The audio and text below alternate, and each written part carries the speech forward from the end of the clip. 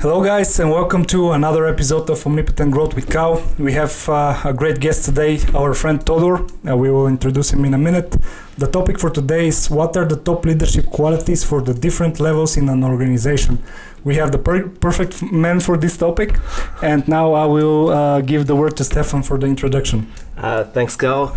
It's an honor to present Thor. He was one of the very few people in our MBA cohort uh, that I was able to discuss corporate finance with. Uh, so, as you can imagine, he has an extensive background in finance. Uh, Thor kicked off his career uh, in the insurance business as an M&A, this is mergers and acquisitions consultant in the Netherlands.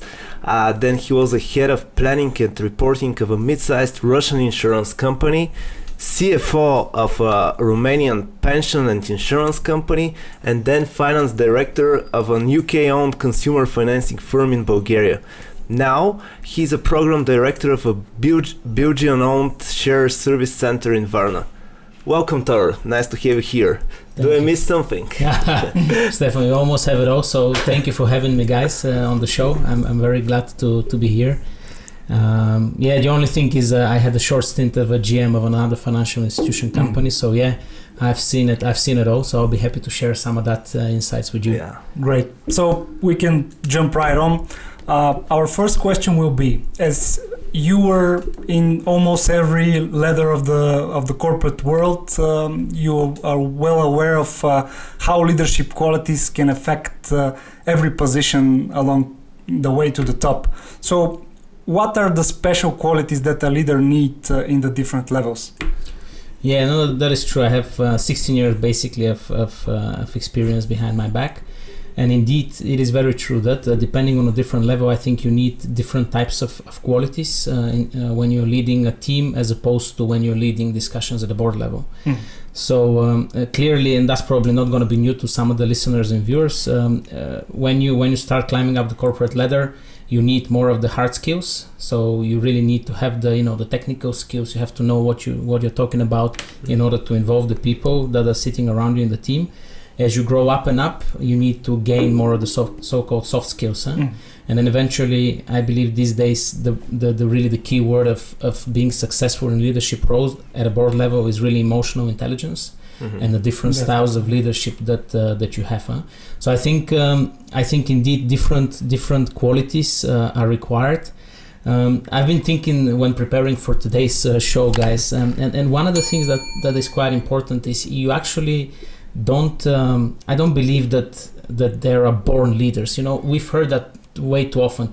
You're a born leader. I personally don't believe in that. I think I think leaders are you know they're born people with qualities to become good leaders. But actually, leadership is something that you can learn to do. Huh? Mhm. and it needs experience. Uh, I, I, I don't believe that you know you can really be a, a, very successful leader at the age of 20 you know so it, it's really age related but also sort of experience related and the very important thing as you climb up at different roles is, is to really develop those soft, soft skills and gain that that emotional intelligence that would help you immensely yeah, Mm. to be a successful leader at the at the, at the higher levels uh, let's say Mhm, board levels or mhm. senior manager levels Absolutely. Uh, how do you develop these uh, emotional intelligence traits?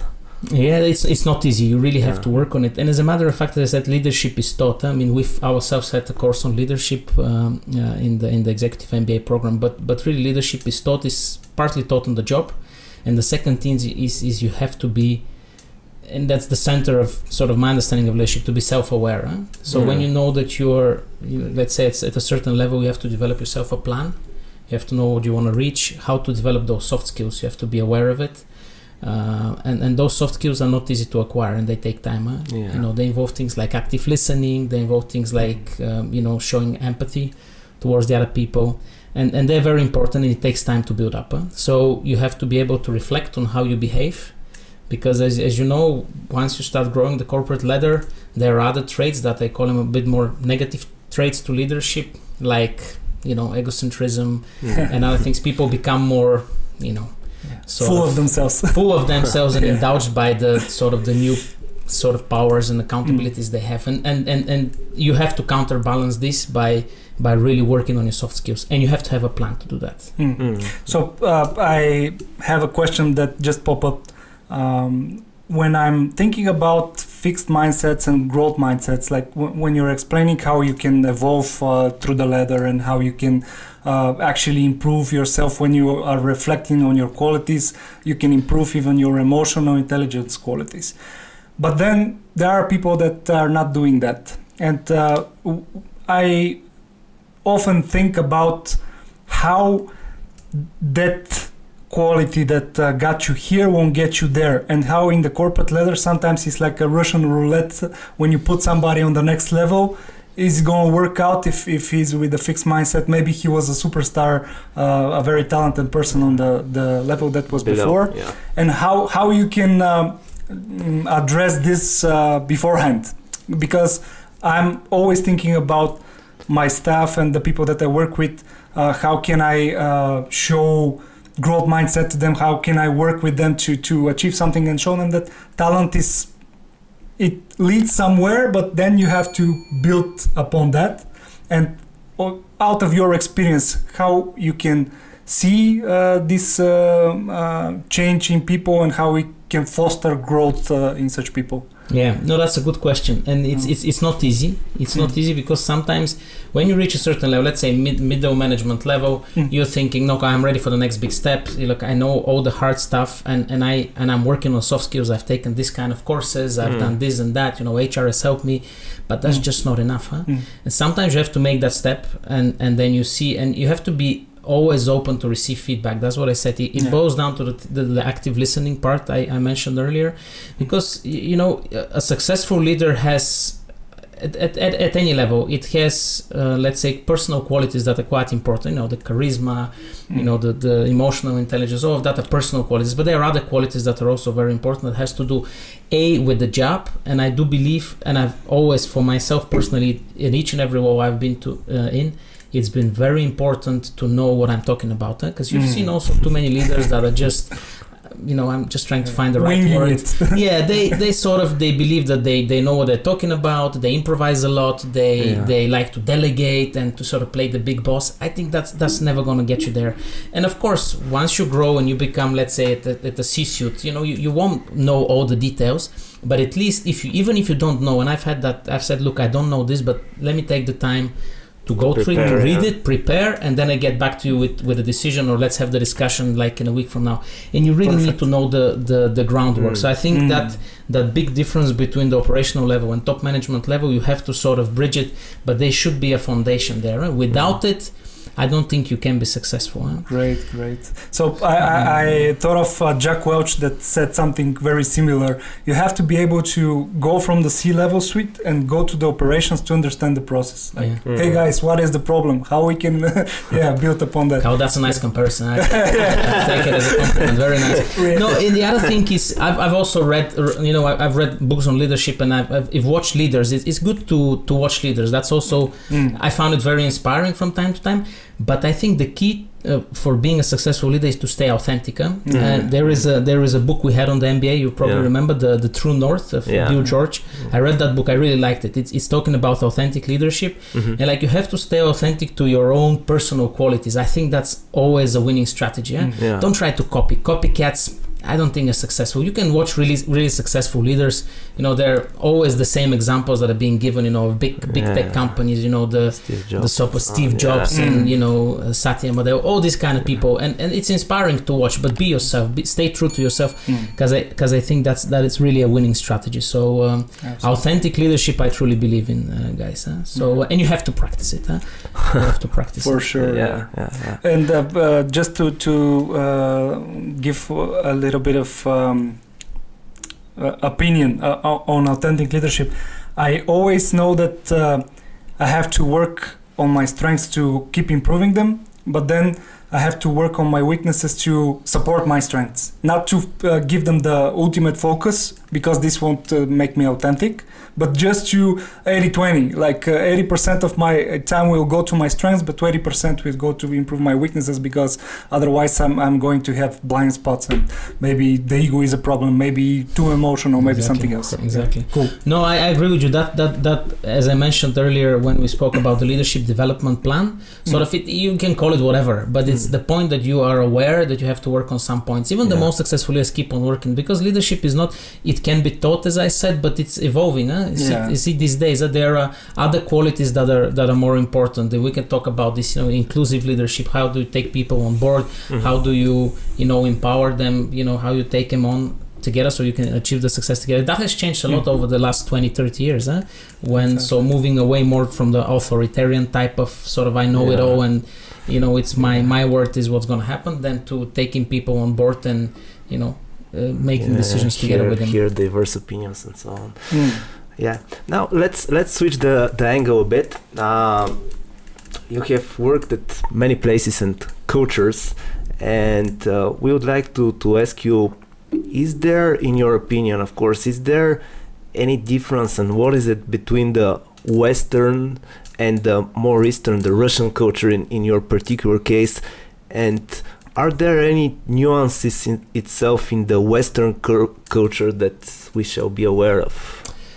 Um, yeah, no, I've seen there are a lot of differences. Thank you for the question, Stefan. I mean, yeah, there are a lot of differences, and you and you have to be aware of that. As a matter of fact, um, bigger organizations that send, um, I've been an expat for six years, Mhm.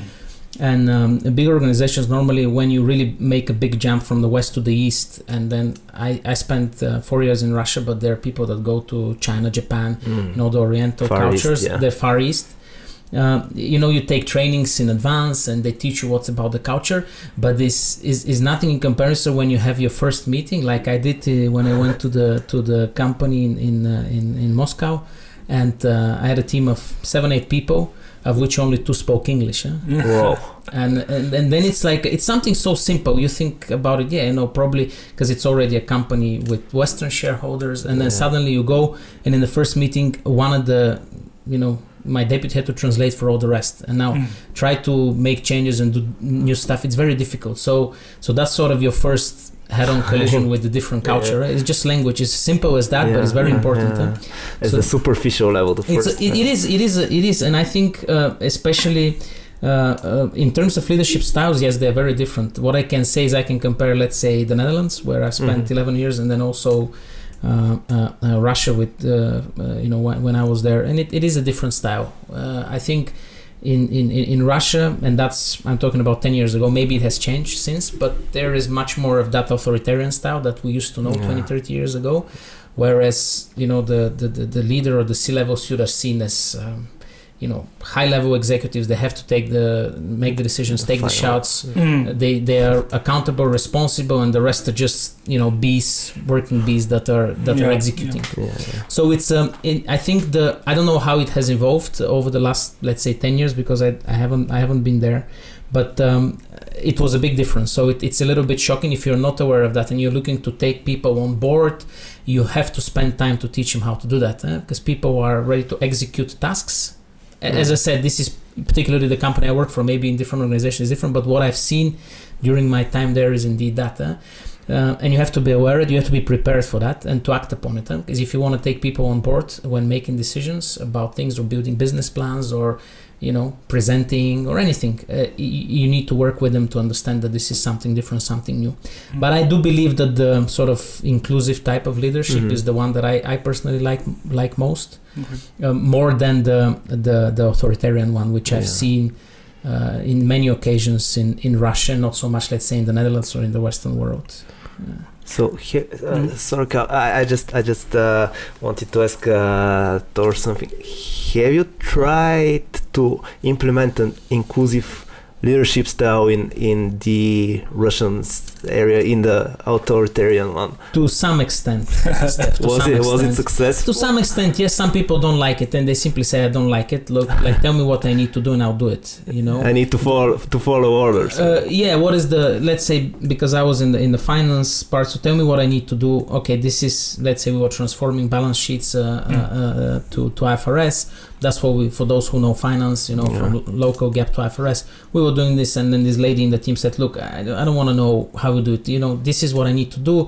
these are the differences so just check them are they okay yes no and then you take it from there Mhm. and, and, and you deal with it further I, I don't need to go to present the results I'm, I'm not I don't feel comfortable Mhm. you know so yeah to some extent you ha- you have to you have to adopt uh, one way or the other uh, and, and take on board the Mm. local culture and if it's not ready yet for that type of inclusive Mm. leadership that we know more in the west then you, you you know you don't have to push people because if you push them Yeah, too much then it will be underperformance so people might leave they'll say this is this Yeah. is you Yeah. know, Empathy and emotional intelligence is the key also.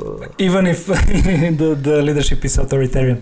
Uh, while we're on a, on a cultural topic, um, we uh, one of our missions here is to really show how talented and how hardworking Bulgarian professionals are. Because we have uh, many people, many watchers may don't realize it, but in Bulgaria we have uh, a lot of uh, uh, multinational investors uh, and a lot of uh, great businesses that are done here. You have a very impressive career along the way, and now you eventually return back. Can you tell us both sides? Like, what are the great strengths of, of Bulgarians in, in a professional uh, aspect, and uh, what do we have to work on? In your point, point of view, in your uh, experience internationally. Yeah, thank you, thank you, Kal. Yeah, well, I think it's a good topic and it's an important topic. And the truth is, no matter what happens around us, that there are more and more people coming back, which is great. Yeah. They're schooled more in the West, and they come back and they bring that change with them.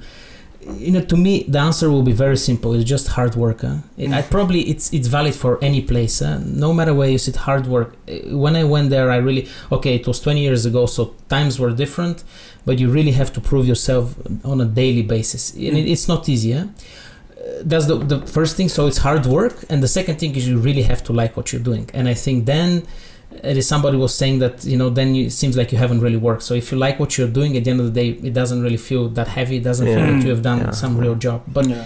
but so these are the two. I think my recipe is like that hard work, especially at the beginning, huh? because you Mm. have to prove yourself, especially if you are when If you come from the east foreigner. box Mhm. to the west, like it was 20 years ago. I think the gap was really visible. Yeah. Now it's obviously much less due to those foreign investors that came in here. They Mm. brought in that culture and Mm. and you know it's a different generation huh? so the, the millennials and, and so on probably some of the uh, listeners and viewers so it is it is, is a different time but but really the recipe is very simple it is hard work and you have to have it inside you huh? that that intrinsic motivation i Mm. think it's it's very important for you to succeed huh? Yeah, it turns out we are quite uh, uh, similar to the working ideals of the West, and uh, somehow we tend to match up uh, on the on the culture level in the companies. Um, yeah, you know that and that her- working hard it's it's also visible huh? because Mm. and uh, you know we cannot we shouldn't generalize about people there are different people everywhere these days you know the global village people move around it's it's much different than 20 30 years ago but Mm. what what what really what was appreciated back then and probably still is is that because of most of the time we are hardworking you know we don't have the five to uh, the nine to five mentality Mm. you know i've stayed to to work till late on projects especially the first five years not that i don't work hard these days but i'm much more balanced you know i know Yeah. but back then you're just, uh, maybe. inefficient Uh, back then you're sort of a hungry beaver and you have to you have to prove yeah. yourself or you work hard and most of the time you would work extra than some of your peers huh? because over there it's and it's, it's not good or bad is that's if you want to prove yourself and you and you want to grow That's the way. this is the way to do it huh? Mm, personal preference. Okay, and while you are saying that, mm, how do you keep your drive? Like uh, you're also a family guy, a very hardworking guy. Uh, uh, for all the people that don't know, it's very difficult to have an MBA while you're on the top management levels and having a family at the same time. so, how do you keep your drive and Yeah. continuously do uh, the amazing things that you do? that's a, that's a good question Uh, i hope they're amazing so thanks for that but um, us, it is um, it's it's not easy i think again with with time that that famous work life balance and we can talk about this in, in the whole series but the work life balance is different for for for each and every one of us Mm. of course once you have a family and and then when the children come it is different and you have to you have to realize that and give enough time for that because i've seen different examples eh? i've seen examples where people continue to work very hard and then that definitely impacts your your private life eh? It's also a conscious decision how to do it. You do become more efficient. You become more used to what you do. As, Mm. uh, That's what I said. Huh? Leadership. I think leaders grow also with uh, with with age and with gaining that experience. huh? I've seen it. I just allow me to, to, to say something that might be interesting. Uh, Like yesterday, I saw a news about uh, another very famous leader. You guys remember immediately that that has become the third person in the world that is uh, uh, uh, has a net worth of more than 100 billion. yeah, You know what I'm talking about, yeah. right? And you know, I've seen interviews with with him, and I think he's a brilliant guy with great ideas. But is he really the, the best leader you've seen? Hmm. you know, so probably with time, with some more years, and not that I'm criticizing anything, I'm just looking at different examples and different different Mm. leaders. So I, I do believe well, the point I was trying to make, you can be really brilliant, but then you still have to have a plan to work on things to become a, a really successful leader, Mm. and those things takes time. Huh? yeah. Yeah. So uh, how do you keep? Go back on your question. How how do you keep the drive? Uh, Well, you know the the problem that I have seen is that if you grow the corporate ladder quite fast, and I think I've seen most of a lot of colleagues, let's say in the MBA, and that have done that. You know, like like quite continuous growth, and you Mm. reach um, let's say a C-level suit at, at your mid thirties. You sort of think like, okay, what's next? And that's a point of reckoning that that it, that is quite important. It, it might lose you for some time. So what happened with me is basically I, I sort of left the corporate world for um, uh, for a year, year and a half, and just did my own things, like Mm. start up my own business, did did did some consulting outside of that. So a little bit break from that because you've Mm. in a way you've sort of seen it all, Mm. Yeah. and and and that's then it's when if you lose the drive. Even at the at the more senior uh, management level, if you lose the drive, then you're not Yeah. not that same leader. huh? Mm. Because the leader also has to have new ideas. You have to be, you know, what we discussed earlier, visionary. You have to create new things. You have to be bold in things that you that you make and you do. You propose. You say, okay, let's do that. Let's launch this new product. Or, you know, you have to come up with these ideas. If you don't have them, probably you're not really a very Yeah. good leader. huh? No, or you're not in the state of desire. So state of if you lose that, you, you have to think of what to do to get it back. Huh? To get that hunger back back in your system. In the West, they are incorporating it as sabbatical or something like that. But uh, I think uh, here we have to do it on our own. Yeah, you, you can do just something else. I've seen it in different, and there are different examples as well. So I've seen that. Of course, yeah. But I'm- I'm pretty sure it's uh, quite dependent on on how soon you reach uh, your goals. Because uh, when when you say in the mid 30s uh, uh, you're in the C-suite and, and so on, it doesn't happen for everyone. And uh, yeah, of It course, of course, yeah. everyone, but it happens to, to other people. So I said, if you have the you know the right qualities and the drive, Mm, I think the rest uh, the the rest can be taught. huh? So absolutely. So yeah, but work life balance. Just to to add on a bit on that topic, is not easy. This is this is not easy, and as we've seen in the books, uh, and I've had also moments like that, uh, like a burnout. You've seen that, the, Mm. the, you know, working. If you lose the work life balance or you focus too much on your work, it, it might lead in cases to a, to a burnout, and then that helps you to realize it's the in that book again. I, we, we, we did the MBA to, not too long ago, so I still remember the crucibles as they call Mm, it. yeah. yeah. That moment where you actually crash Yeah. and then you and then you realize it then you slowly build up uh, Mm. uh, back back uh, back uh, in your career so we, we already had a, a whole episode on the topic, and I think it's really important because now it's um, uh, more important than ever because the, the circumstances that we work in are different. And w- when you have the, the situation in which your home because becomes your workplace, like uh, in the very moment uh, in 2020. Uh, then you have to be very self-conscious and very self-aware on what are you doing and how much you're burning and Yeah. uh, uh, how to regain um, some of this strength, like how to fuel yourself up, how to rest, things like that. yeah So if you have like one advice you can give to, to people on on dealing with uh, with this uh, stress and uh, pushing back on burnout, what what would we be? um, I don't know if I can give you the one advice, but uh, uh, you know, make sure you have time on on your own for yourself or for the family. And really, Mm. it's not easy. Eh? It is not easy. But and I've I've, I've done that. Uh, if if some of my uh, let's say superiors are ever going to listen to that, Mm. I've had weeks uh, when uh, let's say I'll go on holiday, like when I was really really uh, like close to a burnout Mm. and I simply switch off the phone and I just leave it uh, you know just telephone calls in case Yeah. if there's an emergency. Mm. Normally, No you know, going up the ladder, you're part of crisis committees and, and Yeah. you know bodies like that where you have to be reachable. Mm. But then I don't read. Uh, I don't read uh, Emails. emails. I, you don't see that sound that's always email coming up, and you have 100, 200 emails Can you a day look up that, that keep on buzzing you, and then eventually you just you're tempted and you go on it. Yeah. So you know, my advice would be uh, take time uh, for your own, for Mm. your hobby, for the family. Do something, whatever. It's different for everyone. Unwind. Huh? It's, Mm. it's very important and. And, and just to add on that, for example, uh, uh, in, in, in, in, in the current employer, you have a two week compulsory uh, sort of holiday. So you have to go on a paid leave for two weeks at least Mhm. that are, you know, um, uh, Joined back to back, yeah. Mm. And then you're not allowed.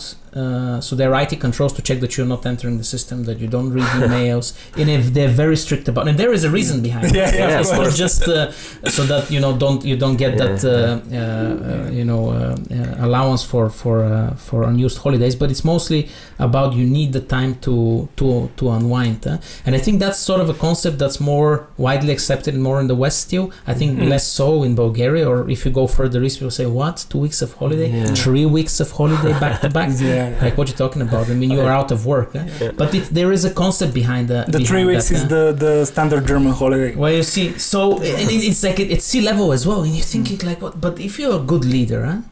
you one of the qualities to delegate. Huh? So you would have delegated. You if Mm. if you are inclusive leader, you would other people on the on the team would know, and if something happens that would require your decision, they'll be able to do it because you know you've kept them at the same level, so they're well informed and they they're able to take an informed decision even without you. you know? Yeah, So Mm. definitely. Yeah, and uh, I, I think it also relates to how well you think of your succession. Like in some companies, they have succession plans and so on, but uh, I think that every leader should uh, be responsible for his own succession. Like I don't want to go in a two-week holiday. Of course, uh, as you said, uh, you have to be reachable on the mobile uh, if something is very urgent. But then um, I want I want to know that the people that are working with me uh, know the stuff and can um, at least eighty percent of the decisions they can take, take on their own. So yeah, I, I totally support you that uh, you have to be able to transfer uh, the things that uh, that you're doing. yeah, when you know when you're young, you think like ah, it's okay. You know, another sleepless night, it's fine. Mm. again i'm coming back to the same thing with age and with family and then when your private life takes a different Mm. shape than than you know the sort of the more younger party only Yeah. type private life then then things change and that it Mm. is is, Yeah. is, a, is a good time to sort of re reevaluate uh, some priorities Mm, definitely. Yeah. Well, that that naturally leads us uh, to the next question, which we more or less have already discussed and uh, touched upon. But anyway, this is our signature question. So, uh, We have to Fire- fire away. We have to ask. what is what is your recipe for leadership growth? for leadership growth Yeah. well I, I, I probably said it already but Yeah, uh, it- it was uh, it was stay work. authentic to yourself Yeah. that's one uh, and and then to your own qualities and then the other thing is you know you hard work you have to know what you're talking about uh, I Mm. you know I, I I've seen leaders that are I have examples of people that just believe they're really good leaders but is is just the leadership is not enough uh. Mhm. you have to know what you're talking about the the, the stuff behind so confidence doesn't equal competence. that's Mm. that's true. That's true. So, uh, you know, as as a and I said, use this again, uh, and you have to have a plan. So Mm. these are these are let's say it became not just one, but you have to have a plan in place for yourself. Yeah. The leadership development plan or whatever you call it. That that boils down to the to that self awareness. So you know these sort of keywords. You know that stay authentic to yourself, but have a plan on on how to deal with your weaknesses. You can Yeah. even the best leaders will have uh, things to to work on Mhm. also because we're not working in a static environment things change eh? Mm. like i have a friend of mine who's now just starting a, um as a new gm position as a matter of fact and and from a distance eh? he has about 150 people in subordination with direct reports and everything and he hasn't met them you know so That's completely new so situation. it's, it's a yeah. new situation yeah it is triggered by by the whole covid-19 developments but even so you, you, you have to remain agile huh? You have to find then, a way. Yeah. and then suddenly you think you're really the best leader but actually you don't have the quality so what do you do with this so i'm very curious uh, if, if i knew how he's i hope he'll he'll do he'll do great but it's a it's it's it's a, it's a challenging time and you have to be prepared for that and then if you have a plan on how to deal with it probably you deal with it well so you need to have the Yeah. plan and uh, how the whole thing goes. If it's not sch- scheduled, it won't happen. so uh, you have to schedule your plan and uh, try to to uh, move along the way with the milestones and so on. Great, great uh, interview today. Uh, so I will wrap up our meeting. Um, I want to thank you again, Todor, for coming and for participating. I'm sure that this is not the last time that we uh, talk uh, together on the Yeah. show. Um, so for today's episode, uh, the key moments were how we can move along the corporate ladder, uh, evolving and not staying on the same place. How we can uh, stay true to our strengths and uh, how important hard work is. I want to thank you all for listening and for watching. Don't forget to subscribe and uh, to share our content. Uh, lots to come. Bye. See you next time.